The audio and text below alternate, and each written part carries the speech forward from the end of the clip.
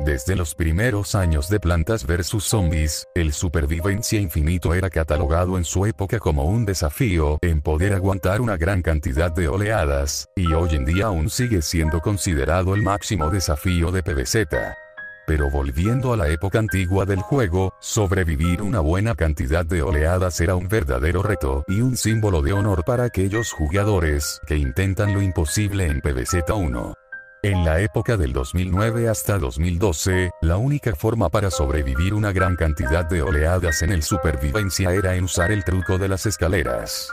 Este truco barra método barra ayuda era una forma para que las plantas pudieran estar a salvo sin que los zombiditos pudieran comerse las calabazas, ahorrándonos así algunos solecitos. También la petaceta, Z congelada junto con algunas plantas baratas, terminaban siendo las que mayor utilidad tenían en cuanto a la distracción se refiere.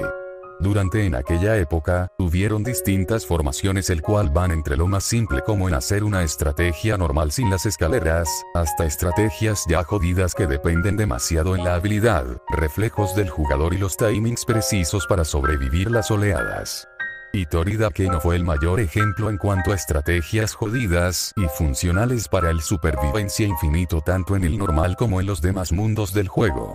Si bien salieron más estrategias interesantes y a la vez desafiantes, el Supervivencia Infinito no tuvo un declive en cuanto a importancia de PvZ1 pero tampoco tuvo un ascenso notable, ni tampoco con los mods que fueron saliendo, el único que trajo un poco de innovación fue con el mod de la expansión por la gran dificultad que tenía.